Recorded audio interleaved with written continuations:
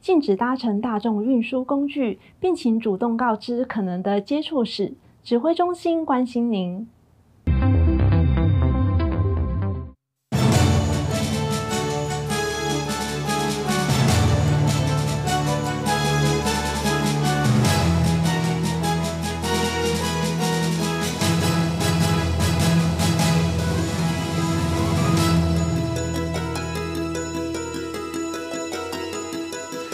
我就明利后啊，紧拍谁啊吼！拜拉过后，大家来看这个有话好说。不过大家在家防疫，多看一点这些疫情的资讯也是不错的。那特别强调，今天疫情没有剧烈的重大变化。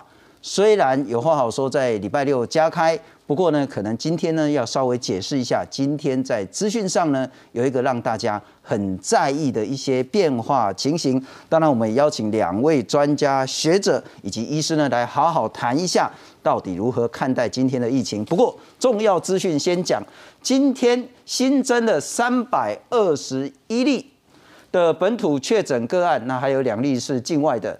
那还有很重要，刚刚我们讲说所谓的新的资讯了哈。这个叫校正回归四百例，因此呢，你如果说你也可以说今天多了七百二十一例了哈，这样讲也都对。不过呢，七百二十一例当中呢，有三百二十一例呢是今天新增的本土确诊案例，四百例呢是因为之前也许是因为裁剪大塞车，也许是因为地方在通报或是中央在处理资讯上呢的时间落差。所以多了四百例，而这四百例被指挥中心呢分配，就是说你该算是在哪一天的，就回到哪一天。我们来看看，呃，在这七百二十一例当中呢，我们还是很重要的县市分布，最主要还是在双北地区，新北市呢有三百八十四例，那其中呢板桥是一百零三例，台北有两百六十九例，最主要都还是在万华区。不过呢，各县市呢都有更大、更多、更广泛的新增案例。桃园二十例，台中十一，基隆九，屏东五，彰化四，高雄四，宜兰花莲三，新竹三，新竹县二，台南苗栗、南投、云林各有一例的新增案例。好，回到刚刚叫做所谓的校正回归呢，四百例呢要算到哪几天呢？五月十六号呢，要再多三十九例，因此修正之后呢，变成两百四十五例。五月十七号多七十三例，五月十八号多八十五例，五月十九号多九十二例，五月二十多七十三，五二一多三十七，总计多了四百例。而每天呢，会有一些修正之后的确诊病例数。今天会再来好好谈一下，什么叫做校正回归。在数字上，或者是在防疫的科学上，如何理解指挥中心今天所做的这个动作？另外，我们要再谈一下今天的整个疫情跟后续的防疫的一些关键。介绍两位特别来宾，首先欢迎是台大公共卫生学院的教授陈秀熙陈老师。好，主持人好，各位观众大家晚安，非常感谢。再来欢迎是前台大感染科的医师林世碧林医师。青春好，各位观众大家好。不过关键先来看看今天呢。新增了三百二十一例的本土，以及四百例的校正回归。本土疫情连续爆发，二十二号再新增三百二十三例确诊病例，分别为三百二十一例本土及两例的境外移入。指挥中心公布的确诊数还没有完，另外四百例的本土个案说是校正回归数。原因是检验塞车，所以现在才公布。哎，昨天因为这效率的提升，所以昨天我们大概也签了大概一万多件的哈的一些旧案，这里面哈有有四百个案例。根据指挥中心公布的校正回归本土个案，五月十六号原为两百零六例，校正后增加为两百四十五例。五月十七号三百三十三例，经校正后四百零六例，单日本土确诊数最多。另外十八号两百四十例新增为三百二十五例，十九号两百六十七例改为三百五十九例，二十号两百八十六例校正后为三百六十例，二十一号三百一十二例更新后为三百四十九例，校正回归本土的案例合计有四百例。外界质疑校正回归的说法有盖牌之嫌，不过陈时中予以驳斥。把事实显露出来就是先牌啊，揭露出来，让大家可以看得出来说每一个时期发生的病例是多少。通报哈，在上传里面，好，事实上是有塞车的一个情形的必要的栏位从二十几项那简化到八项。另外，因应疫情发发展，行政院人事总处公布，只要符合条件，双北的中央机关居家上班者可由原先的三分之一提高到二分之一。居家上班是以三分之一人力比例原则呢，提高为二分之一的人力为原则。我想这样的东西的目的就要减少这个人潮的移动啊，然后降低接触的风险。经济部也呼吁企业能跟进二分之一员工采居家办公，不过强调产业属性不同，只能鼓励，无法强制。它是要顾这个产线的员工的部分，啊，就不适用这样的原则。我们是鼓励可以在家上班的员工，哈，尽量让二分之一在家上班。疫情热区以双北确诊人数最多，市府都已经迅速设立裁剪站。陈时中指出，检验量能单日可达两万多人。目前双北热区阳性筛检率已趋于平稳。纵观近期状况，五月十五号的阳性率最高达百分之六点三，之后趋于稳定，显示疫情没有爆发。记者黄略张国良台北报道。来，陈老师先请教你如何看待今天的叫做校正回归，而且数字是四百例。那当然我很清楚，许多民众呢可以理解，但是也有很多很多民众觉得说很怪。为什么要回归？为什么要校正？好，呃，我想我们从去年呃新冠肺炎疫情发生呃之后啊，我们呃可以分成两种状况，哦，就是说我们呃没有快筛快筛站的设立，以及有快筛站的设立，哦，这两个情况呢，呃是不一样，哦，那快筛站的设立，我们前面也讲过，它会把隐性感染的个案早期发现，哦，那就可以知道它的隐性感染时间是什么时候。所以，与其是这样讲，就是说，其实是在重建这个呃真正快筛之后的传染曲线哦，那这样才能够反映真正它的流行传播的真正的实况。是，因为在这个时候，最重要的不是行政上面的这些报告日期，而是它真正可以隐性感染的日期是什么时候。那你想想看，今天有快筛进来，在通报确诊。这中中间只要是快筛阳性，表示它就有可能具有隐性感染的能力。如果你不赶快重建这个传染曲线，那么对于隐性感染之后社区的传播就没办法阻断。哦，所以这个东西是重建传染曲线的一个最重要的方法。因为这时候跟去年不一样，因为去年我们的个案很少，那个案很少呢，当然就按照通报日来把这个日期，因为我们。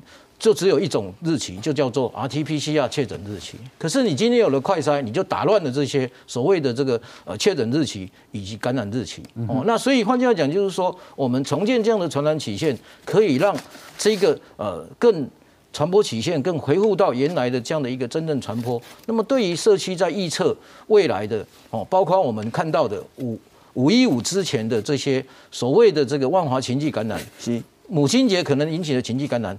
以及我们的大卖场的情绪感染，这样的体现的预测，才有助于决策。到底我们将来的决策，到底要往好的方向去做决策，还是要往坏的方向做？啊，我这样听懂了哈，就是陈老师，你的意思是说，我们现在每天都有很多数据，不管是死亡人数、死亡率，乃至于阳性率，乃至于今天的所谓的那个确诊数，或者是说新增的确诊率等等的，看这个数字呢？究竟是为了要防疫用，为了要了解之前的感染情形以及之后的防疫政策来用，还是为了所谓的写报告用？对的，好。但是问题是哈，防疫政策的制定呢，是指挥中心跟专家学者跟医师的重要责任。是，民众大概想了解的就是真实的疫情状况。是，啊，所以民众会讲啊，对啊，啊，今日到底是三百二十一，还是七百二十一？我们会有两个东西想了解了哈，一个是疫情有变好还是变差，还是差不多。第二个呢是说数字呢是不是真正的真实，有没有被调教过？啊，过来艺术的工，譬如说，如果要作为防疫政策来用的话，其实说实在，这个每天的增减，或者是发病日，或者是确诊日，对民众来讲不是那么重要。民众只想知道，说我这个数字是不是真实的，有没有被修正过的，有没有被这样？所以，如果你今天就是，反正我今天多的就是多七百二十一嘛，啊，七百二十一怎么解读？那就是专家学者的。其实我我觉得这个日期是很清楚的，这个日期是因为有了快筛的之后的日期，就会决定这个日期进入快筛之后的每一点。从五月十五号开始，对，因为我们快筛都是从五月十六号开始的啊，所以才会有五月十六号做做这样的一个把日把这个个案呢再回归到快筛的日期，因为你快筛找到阳性，表示这个人就有隐性感染的个可能力，当然要回归到五月十六号的隐性感染。的这样的日期，是，那这个就是因为有了快筛，才有可能定出这些日子。所以你看，它每个时间点，五月十六、五月十七，因为我们的快筛真正设立开始是从五月十六号，那筛，那大量的这样的把快筛的个量找出来，那这样找出来的，当然实验室。检验室，他们经过一年半训练，当然很辛苦。那我们国家，我特别强调，我们我我的了解，我们国家对于 RT-PCR 的标准检验标准是非常严格，非常检验标准是非常高的，跟国外的比较。所以我们过去都是标榜我们的敏感度这些做得很好，是因为我们的程序上面都非常。那你想想看，如果你一次要应付，就像你有。你你邮局银行在排队一样，突然涌进这么大量的人，你当然你的时间就要拉长啊，一天这是很正常的嘛。哦，那那所以所以我们必须要体会这些检验室人的辛苦，哦，一定要给他有一些时间，在大量的筛检的东西，让他慢慢去调整，缩短这个从从快筛日期到确诊日期的间隔。哦，那这样子这个现象慢慢就会调整。我我也跟大家报告，在英国。也是发生这样，韩国也发生这样，所以韩国你有听过他们叫得来速吗？为什么要得来速？就是因为有这样的一个确诊跟这个结果，他们也发现说，你这个得来速完了之后，你后面还是会还是会还是会排队啊？为什么？因为你要确诊哈，哦，那你除非就是说你确诊又用的不是很很很严谨的工具，那就没有达到真正我们把真正个案找到。那陈老师，我请教了哈，不管是英国啦，不管是美国，因为我们想美国、英国甚至中国大陆。那么大的一个国家，是它一定会比台湾更严重的地方通报到中央数据统计上的这个落差，是通报落差，它也一定会有这种所谓的裁剪的这个塞车的问题。是那别的国家也会叫做校正回归吗？当然会。我觉得这个是名词，其实不是那么重要。重要就是说，它需要给检验室或者是整个通报系统在一个时间里面的调整。那依我们的经验，在过去欧美国家发生大流行的，通常都是七天。哦，就是说你前面从快筛到真正确诊病例，在初期的时候都需要七天左右。哦，那那个七天刚好又是潜伏期的时间了，所以常常在这个地方大家就会有一些有一些呃呃观念上面的呃没有办法了解。但是它其实很简单，就是说你确你快筛进来那个日期，只要你快筛一进来日期被我诊断的，被我快筛到的，到他诊断日期，通常我们会用快筛这个日期来当做我们传染病它的这个所谓的这个可感染的日期。这个是为什么呢？因为你现在是对付的是要对付它社区，阻断它传播，不是真正的要通报说什么时候通报出来。是，所以其他国家的这个修正，不但可能往上修正，也可能往下修正。当然，因为它。本来阳性，后来变成是阴性。那我相信这些这个现象会随着时间的说的的的适应。所以你看到，等一下我们看到检验室在筛检能量上面，它的不未确定的病例也越来越越来越少啊，是没有越来越多啊，只是你通报进来的个案会增多，所以这两个比例一定要做调整。那林医师，我请教你了哈，那你接下来会有一个他说，那如果可以被所谓的那个校正回归。那是不是我们每天都处于一个比较不确定的状态？嗯，也就是说，当我们今天讲五月二十二号礼拜六的新增本土个案数是三百二十一例，嗯，那会不会明天或是下礼拜再修正？也许变成四百，也许变成五百，那这样民众就会对每天的这个数字先打了一个折扣，对于信心这件事也会有一些影响。呃，这里我可以秀一个这个图哈，这个是柯文哲市长的脸书了哈，是。因为今天指挥中心中央开完记者会之后，再再来是两双北都开嘛哈，其实两个市长都有说明一下这一次这个校正回归的情形。那这个 PCR 裁剪的流程我觉得很重要了哈，就是从一开始就是医院裁剪，然后我们要这个法定传染病的通报系统。哦，我的同温层哈，这个在医院工作的人最近都叫苦连天，因为这个。第五类法定传染病要上传，今天有说有二十个步骤，然后非常繁琐，而且还有纸本要用写的，是，所以那些感控室工作人员都叫苦连天。所以今天说这个通报行政流程上有问题。那在下面呢，在下面就是送检，然后现在我们很多是快筛跟 PCR 一起做了哈，那 PCR 就送检，然后检验结果出炉，送回 CDC，它最后还才会有一个暗号。那所以我觉得这一天发生的事情，应该就是一口气报了七百例，走到最后。可是回头看一下，哎，怎么时间差很多？有因为平常科比说，假如没有塞车的时候，大概是两天就可以出来。可是问题是这几天每天都报万破万。所以就有人哎，怎么六天前的现在才终于走完流程？有五天前、四天前，好像这些案例是以台北市居多嘛，吼，清了一万多例，那新北也有一些，好像一千多例。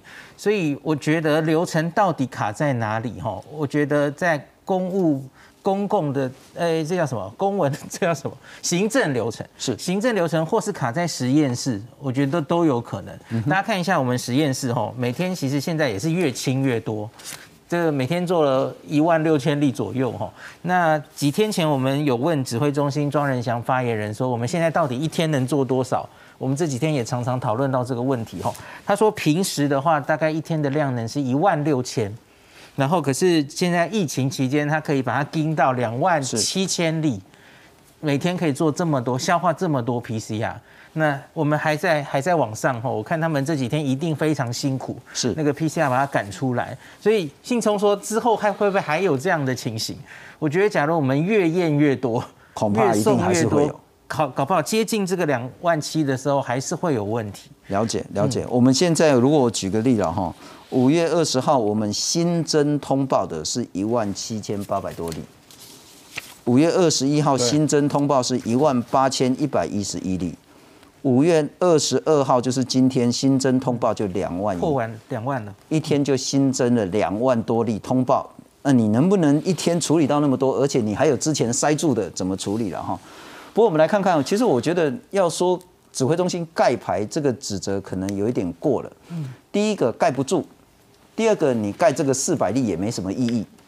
哦，再来就是说，如果真的是盖牌呢，地方一定会先跳出来骂。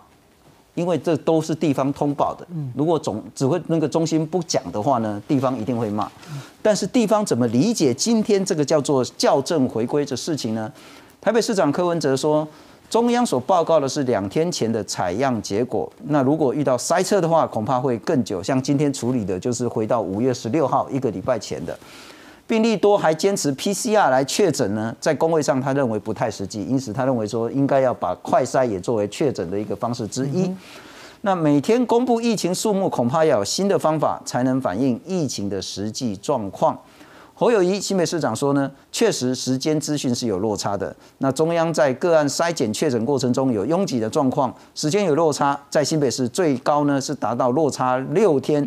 为了防止防疫破口，中央防疫要一起来增加国家的筛检队，结合民间的这些力量。那新北市的副市长他说呢，因为中央偶尔会有塞车的问题，民众会比地方卫生单位先收到确诊的资讯，所以会有时间差，不是地方要刻意延迟通报。换句话说，在地方上呢，特别是双北的市政府呢，都比较能够理解这个落差，但是这个问题一定要解决。我们先来看看新北市长的回应。召开会议，新北市长侯友谊非常关心各单位执行防疫工作的落实度。考量疫情严峻，二十二号加上校正回归案例，新北市共增加三百八十四例，其中以板桥一百零三例最多，累计确诊人数一千两百七十九人。侯友谊宣布，将针对板桥十二个里以及综合八个里等疫情乐区设立乐区防疫中心，启动三天的强化措施，搭配机动筛检站。以及人潮聚集的大卖场、市场，加强人流管控，全面大清消。因为时间资讯落差，造成通报塞车。中央校正确诊数字，新北通报落差最高有六天，让侯友谊担心会形成防疫破口，特别呼吁中央地方防疫一起来，成立国家筛检队。我们要成立国家筛检队，结合民间业者的力量。一起来共同快速筛检，不要让确诊者很多已经被通知了，但是还没有到地方来，变成他在家迟迟苦等。侯友谊小心应战，外界则质疑新北的医疗能量是否足够。侯友谊强调，将启动第二阶段的清空计划，并且增加集中检疫的量能。因为我们大幅的在降载，我们开始要启动第二个阶段的清空计划。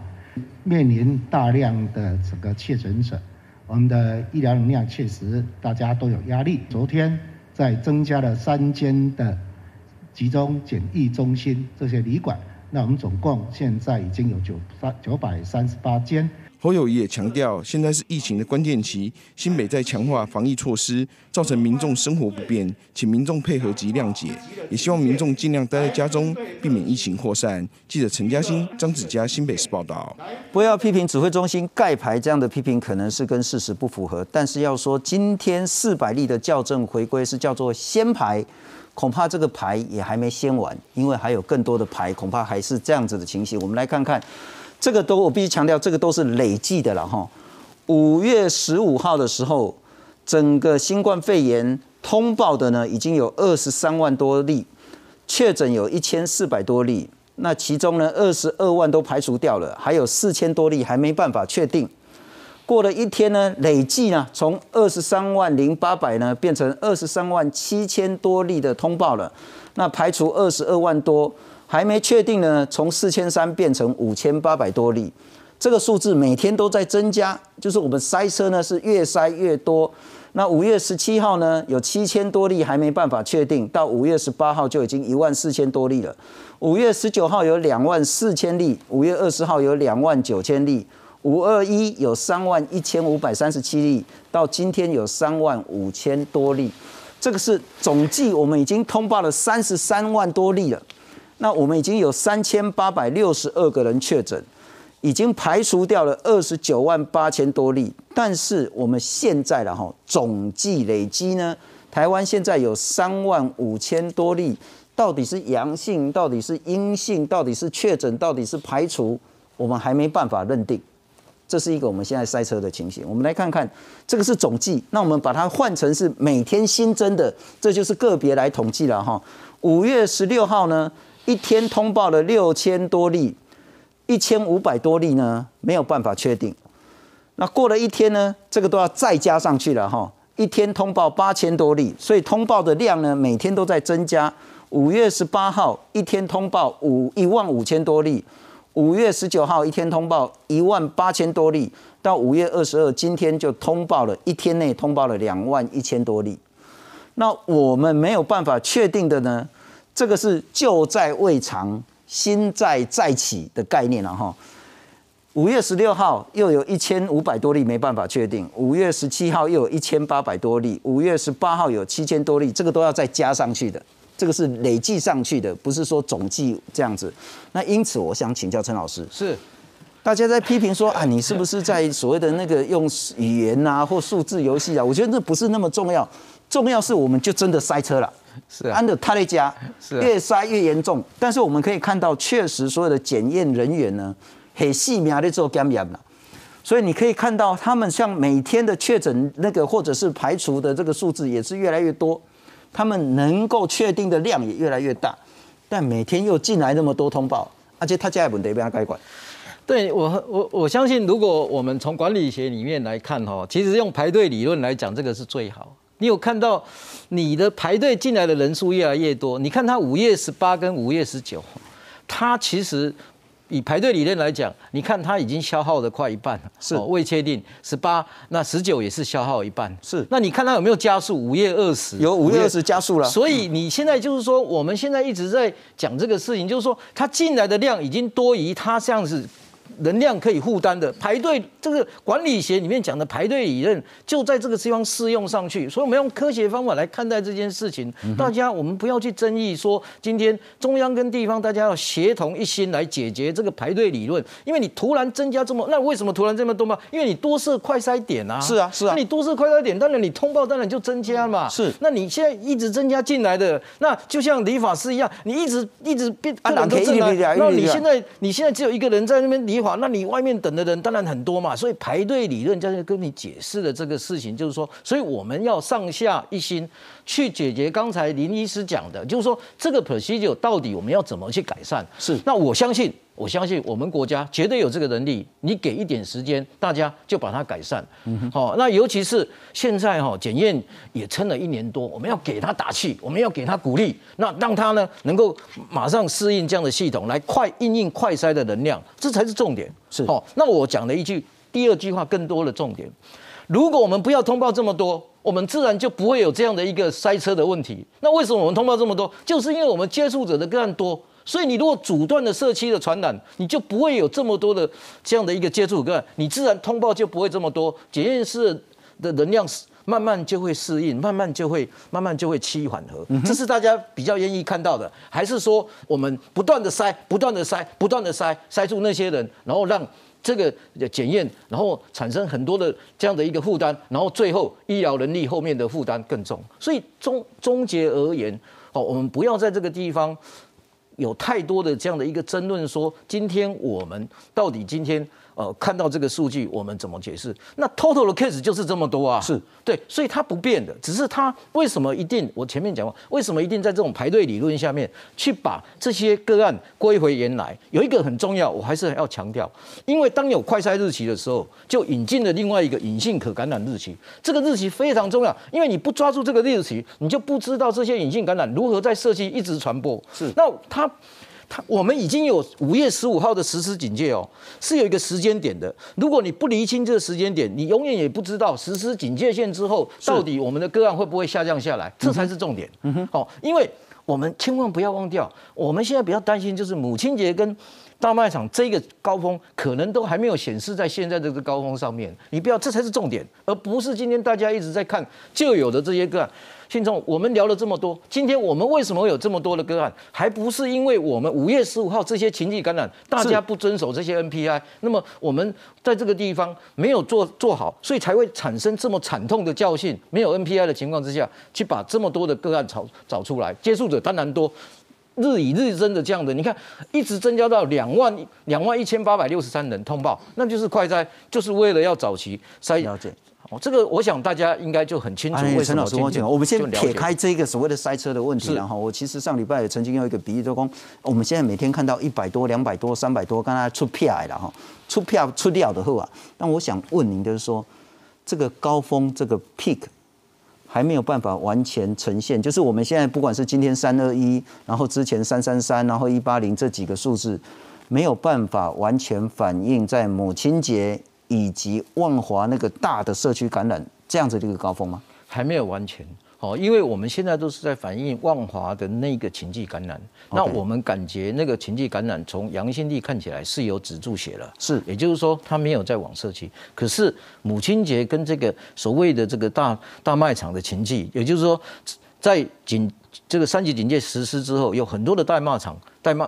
大大卖场民众涌入是情迹，没有戴口罩，这一波距离这个时间还太短，哦，所以你还不能妄下断论说今天这一波的的感染个例会不会在快筛再被找出来？是，所以这个地方会不会形成另外一个高峰？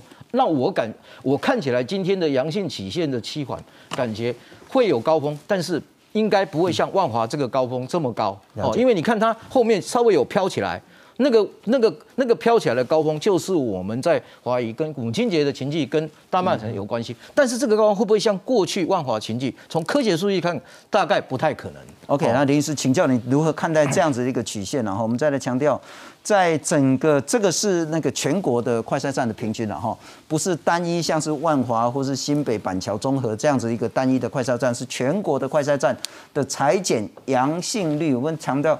裁剪阳性率跟最后确诊率是两回事了哈。那不过呢，在五月十九、十五号的时候，它是达到全国裁剪阳性率的高峰六点三，在之后呢就开始下降，六点三变成四点七，变成二点八，变成二点七，降到最低是二点二。不过呢，这两天又上来二点八跟二点九，二点九的阳性率，在我看来还是很危险呐。呃。其实我理解这应该是 PCR 的啦，应该不只是快筛，应该是最后指挥中心 confirm 的嘛，也就是今天我想应该是往回都校正完。确诊率了，对，都校正完，然后把每一天该每一天的，然后弄成一个，我教他们做这个 做，叫叫他们做好久了，我好想看这个 PCR 阳性率哈。那所以我们可以看到的是五月十五号是高峰，可是不要忘记了，五月十五号那天其实裁剪。案例没有很多，所以其实他每一天送的多少，其实都可能有误差。所以这是为什么去年的这个时候哈，各国面临那么多案例来，然后这个六日假日可能做的少，然后做的多，所以你会无法判断，你只看每天的变化，可能会被误导。所以他们一直都是用七日平均。往前算七日平均的 PCR 阳性率，然后一直来做图了哈。那我们就姑姑且用这个每天了哈。每天看的话，六点三缓慢降到二点二，我的确也注意到了这两天跳起来。是。那大家可以回头去看新北跟北市的筛检站，同样在这两天也是稍微跳起来。我觉得这个趋势是吻合的，的确就如同陈教授担心的，这个可能已经不是第一批的万华，它可能是后面的。假日、母亲节也可能是卖场的群聚都有可能，或是也有可能是万华的第一波，虽然塞了哈，可是有一些无症状感染者，他自己没事，或是有一些人没出来塞，可是他已经往外传了，他的第二波也可能那是万华的第二波，后面有一个尾巴起来了，所以我觉得这这个是非常值得观察的。那我再补一点，刚刚我们有说到哈。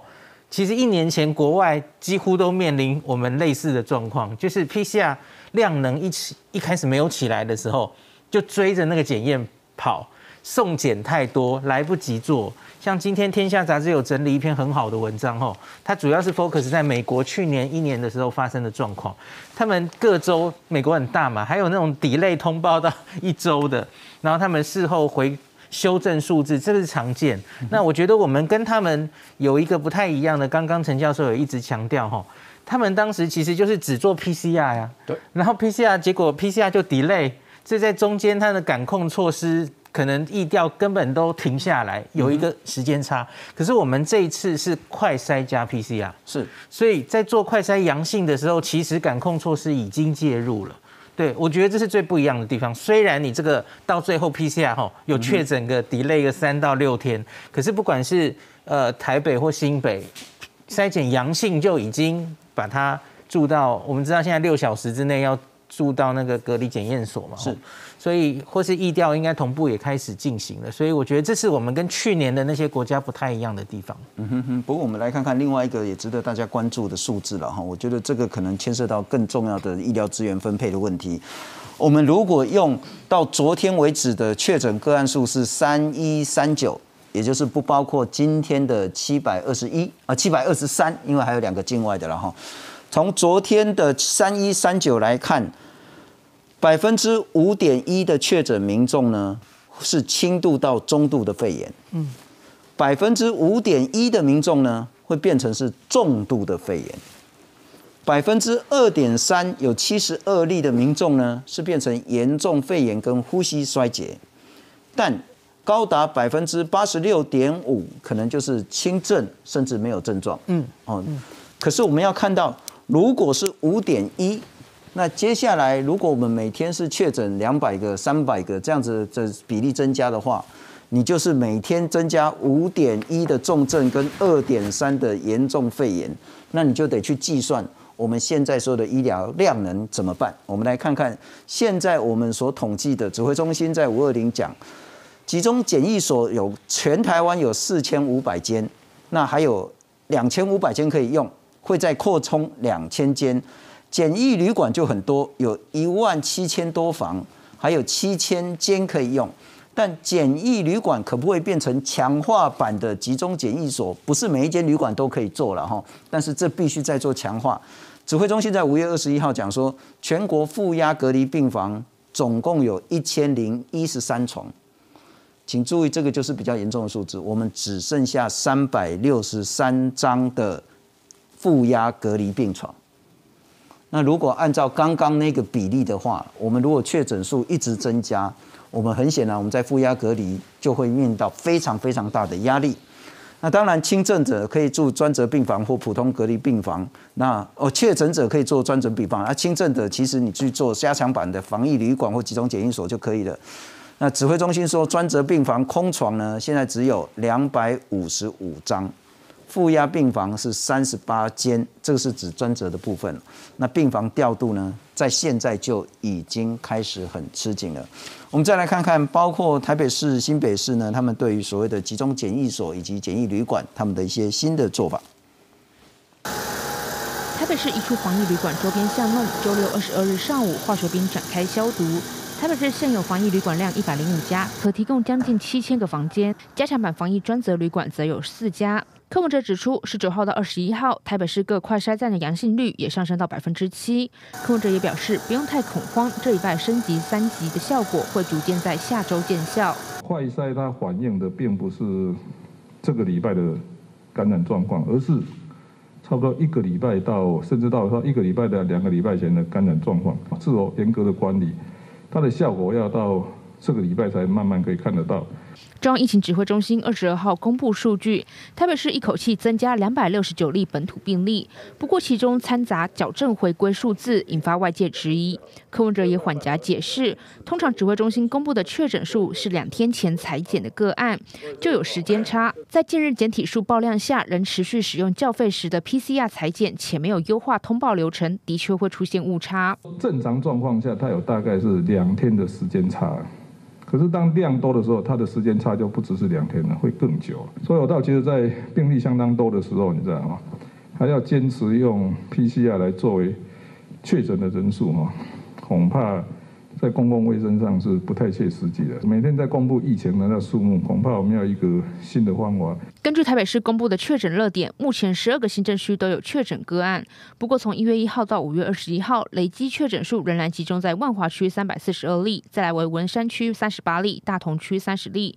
柯文者也呼吁，如果 PCR 筛检阳性，症状不明显，没有高风险因素，统计上百分之八十不用住院，建议留在家中一人一室等待通知。记者陈淑敏、陈新荣、钟建刚台。北报道。我林师还是请你来看一下我们整个包括集中检疫所、检疫旅馆，特别是负压隔离病房，其实现在都开始吃紧了。嗯，那如果我们谈全国所有医院的负压隔离病房呢，也只剩下三百六十三床。那如果你说呢，双北的专责的负压病房呢，三十八间。所以，你然疫情不控制的话，我们马上就绷紧了。嗯。应该是说，疫情假如病人更多的时候，大概就无法坚持一定要收在负压病房那我们其实是因为原来病病例少的时候，我们以高规格对待这个病，所以才收在负压。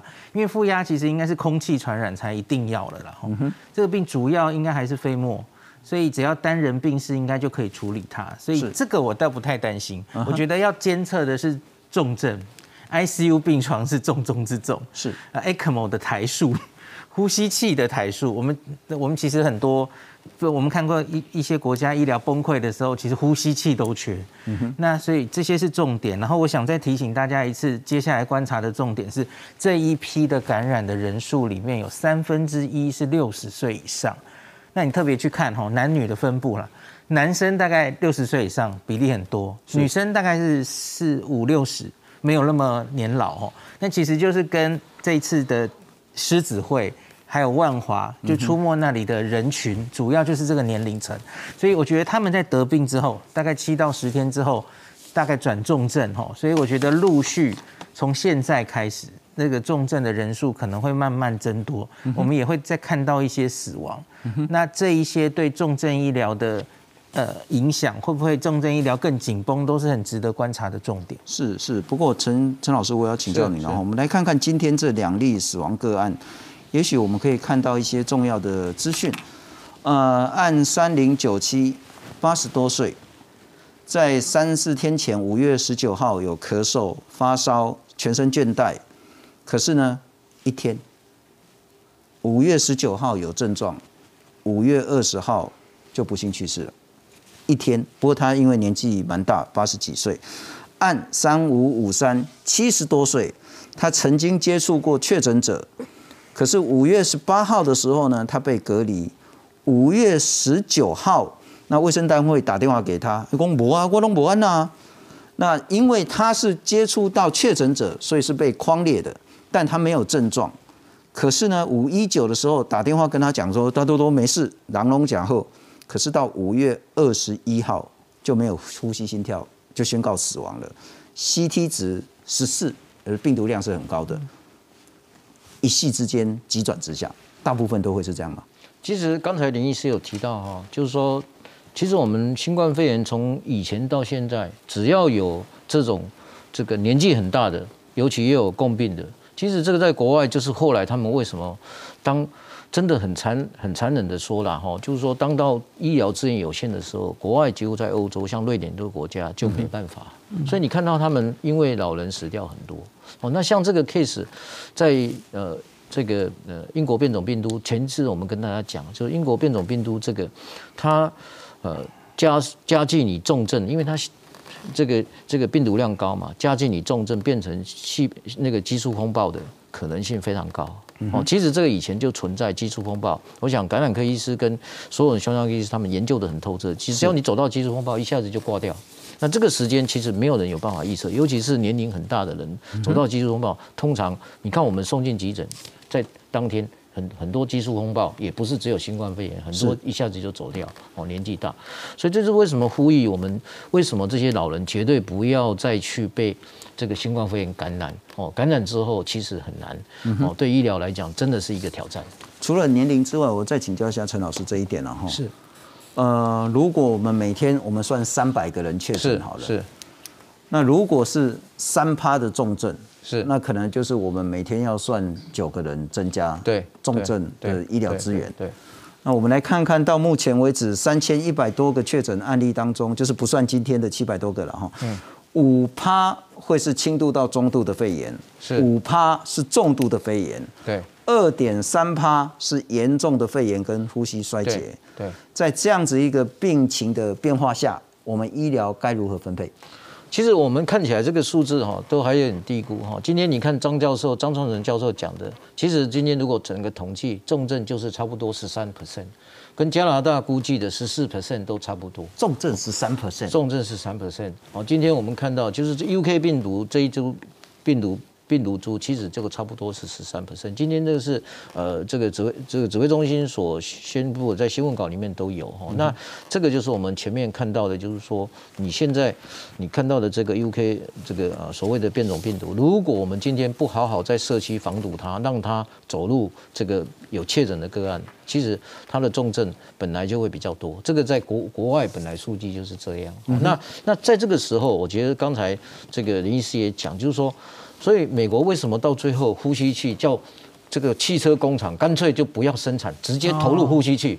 那当时呼吸器还共用哦，这些然后引起。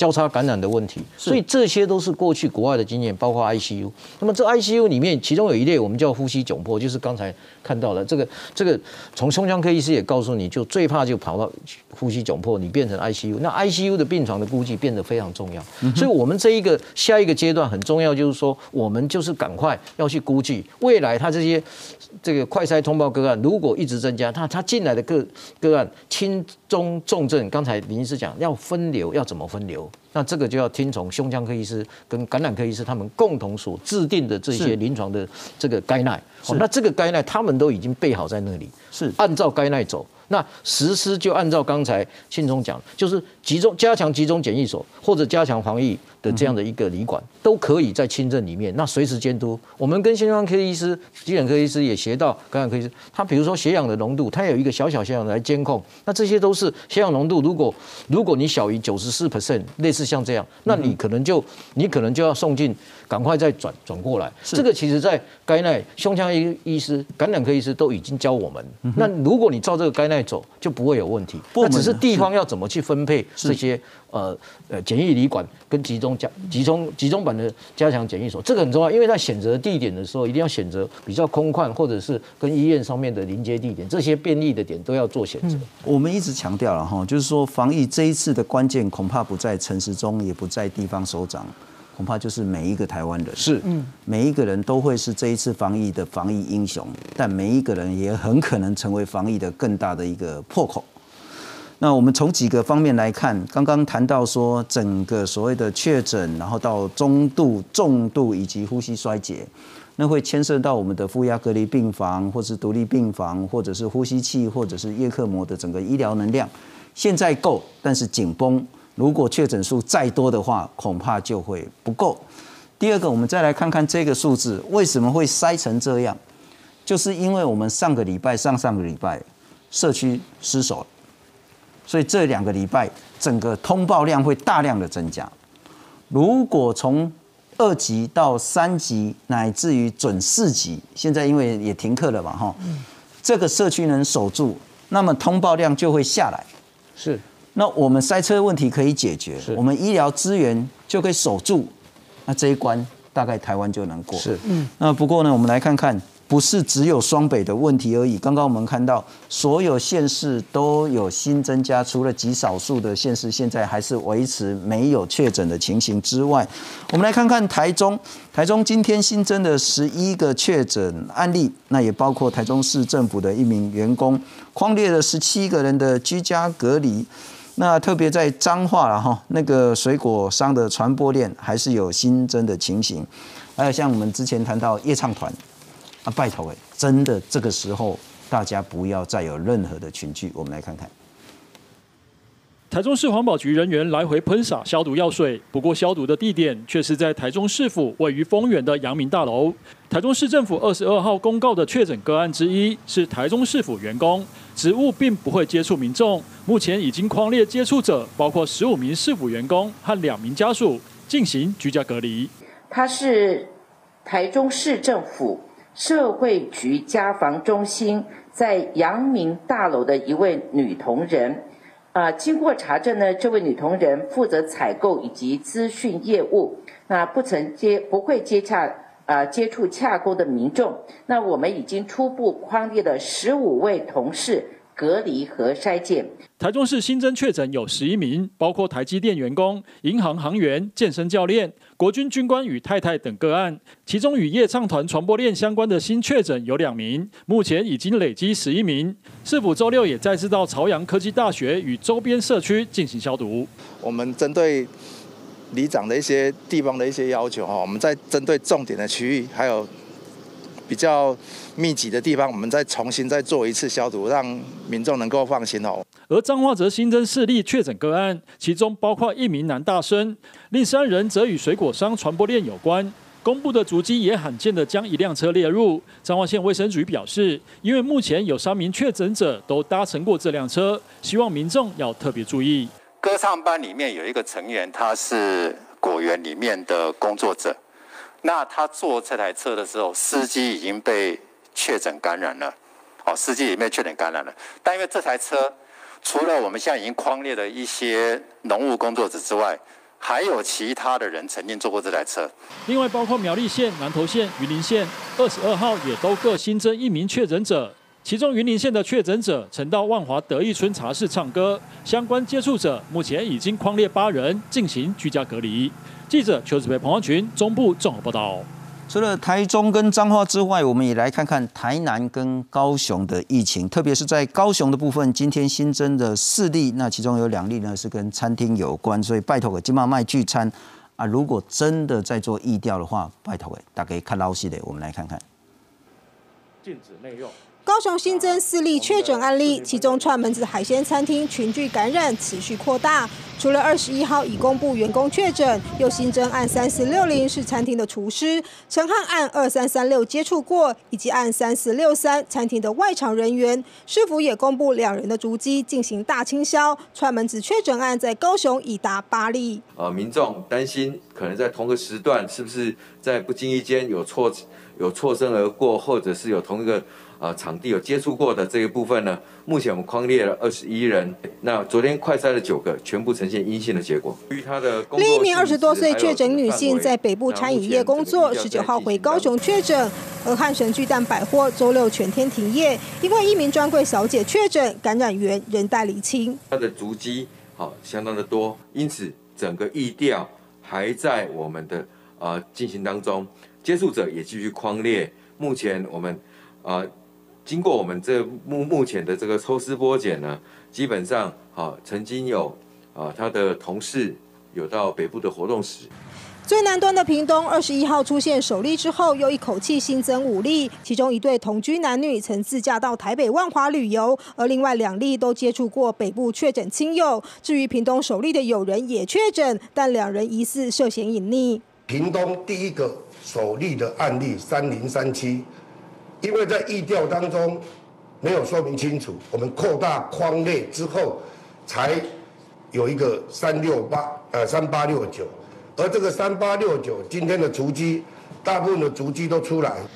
台南市也针对新增一例个案足迹进行全面大清消。按三六一五为一名六十多岁男性，平常大多骑机车行动，在二十一号住院开刀前裁检确诊。我们台南市的医院的清零计划启动的早，也很落实，所以他就在入院前就已经进行裁剪，那裁剪后确诊，并没有进到医院哦。是否同时公布来自台北万华以及南投县个案到台南的主机，也已完成全面消毒。南部各县市要全力防堵疫情的扩散。记者李传、陈显坤南部报道。我林师还是请教你如何看待现在的疫情的发展？那我们特别强调是这几天呢，其实都是连续破百，甚至破两百，甚至有到三三三。那今天呢是三百二十一个新增。可是呢，这是没有回归哦。啊，对。回归的话呢，前几天还要再往上加了哈。没错。所以要再加四百例的校正回归，这是一个新增趋势图。再来，我们来看看，呃，光今天这个七百二十一例，那整个溯源的部分呢，万华还是最重要的。不管是在万华活动的，或是去那边喝茶泡茶的，那狮子会水果商的相关。那不过我们有一百二十一例关联不明的。然后疫调中有一百五十五例，目前的疫情啊，这个看这个圆饼图，我们已经看了几天了哈。是。那我自己首先大家看一些关联不明的比例哈，这几天我们看大概都是也许在两成左右，哦，乘起来大概两成。那可是好像上次休息老师我没有问到老师，我也想问问老师，因为现在大概都有蛮大一部分人是用万华活动史这五个字交代过去。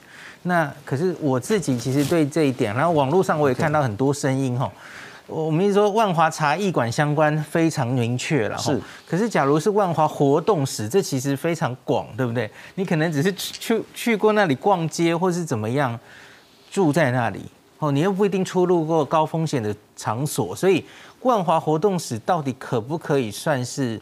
找到原因的感染源，那这一点其实跟我们要不要进第四级，我们现在定出来的条件是有关的嘛？是，所以假如照我们这样看起来，万华活动时不会把它当不明来感染源。那可是，其实我就想回问邱西老师，你对这一点的看法？我再补充一下，我就是说我其实之前一两个礼拜前我也收到简讯，呀，不啊，我哪有去帮讲？啊，首先有吼，我在阮早间去补习的时阵啊，我坐去万华买一碗鹅米线哦，所以你有鹅米线最好加一聊就这，嗯啊，我这样也可以算万华活动史。我想就是说这个观念就是说这个问题非常好哈，我先解解释一下关联不明，嗯，关联不明，其实我们永远不要忘掉。家户感染是这一波英国病毒株主要最主要的。嗯嗯嗯。那我们在这个地方，我们并没有去标示。加护感染，那我们从过去曲线分析过，指挥中心的解其实分析很清楚，就是在五月十五号以前的那些，从机师开始都是加护感染为主，慢慢演变到社区的不明感染。可是到现在为止，社区还是有很多关联不明的，它可能是源自于加护感染，可是它没有特别归类出来。好，所以这个关联感染有很多的原因。那我我我刚才我刚才也讲，这里面并没有这个大卖场啊。是。哦，也没有这个母亲节情绪的啊，是，所以，所以我们必须要厘清一点，就是说，我们虽然是同一个病毒株，可是我们传播的路径还是有它不同的多元性，哦，所以你不能够用一个东西来。以偏概全说啊，这个东西我们就已经找到了。那么现在我们必须承认，既然是社区感染这么多个案，还是有可能有一些是感染不明的来源。这是在国外，当你 case 达到两千个以上的这种一千个以上，就会有可能这种现象。那重点是怎么样让这个个案数赶快透过。筛检来下降，OK。那所以刚才那个万华五十，我为什么特别强调你一定要用筛检站的这个它的这个东西来做连接？因为当时你们接到是细胞碱性，细胞碱性是让你自主管理的一个方法，可是它不是代表你做疫调的一个它的一个非常清楚的疫调，因为它只是发细胞碱性，它是要做管理，要做介入，因为你。发了简讯之后，如果你真的是接触者，马上就得到速效。就是钻石公主号当时就是这样啊，他根本搞不清楚是哪些人接触，所以他就发了简讯，简讯就就叫你待在家里就不要动。如果你真的做到不要动，请问钻石公主号当时有没有发挥成效？有。那个时候，我们陈其迈副院长的这个政策以及陈志忠这个政策，他就是发挥，所以让钻石公厂没有病例嘛。那所以换句话讲，那个万华的接到简讯不等于万华，万华是万华的登登是要根据万华的筛检站是以及。各地方在接触的时候，他真正去做 TOCC，有问到他真正去万华在密闭空间密室接触，像彰化的那一个葡萄珠就是那个就是很清楚的所谓，所以这些东西要归类的时候，真的要好好把它做了详细的归类，这样子我们大家民众就会很清楚知道它的来源是呃到底是从哪里。好，那陈老师，我再请教您一个，之前您在几天前呃发表一个重要的学术研究，也在我们这个节目上谈到。就是说，如果我们彻底贯彻 NPI，就是非医药的工位政策。是，如果我们到九十的话，我们会有连续三天超过一百个确诊案例。但很显然，我们已经超过三天，也超过所谓的一百的这个案例的数字了。但第一个问题，我们现在所做的防疫是否达到 NPI 九十趴？第二个。我们的危机是不是过了？好，我们要先厘清这一张只有针对万华的高危险情，不是全国的。OK，好，也不是台北市，也不是新北市，这只有万华。所以万华，你看到，如果以万华来看的时候，事实上现在还是存在，因为万华其实真正你确诊个案，万华的来也没有这么多，超过一百个。那我现在意思就是说，这一张可能要。修正一下，是我们在做这一章的时候，对专指万华，我们在做这一章的时候，并没有把我们今天的塞车的问题考虑进去。了解，所以你看到它塞车是会往右边移，所以你真的九十 percent 还是有可能。但是现在如果大家不做好，就会往左边这一条六十 percent。换句话说，pick 还没过。对，如果大家没有做好 NPI 九十 percent，如果走到。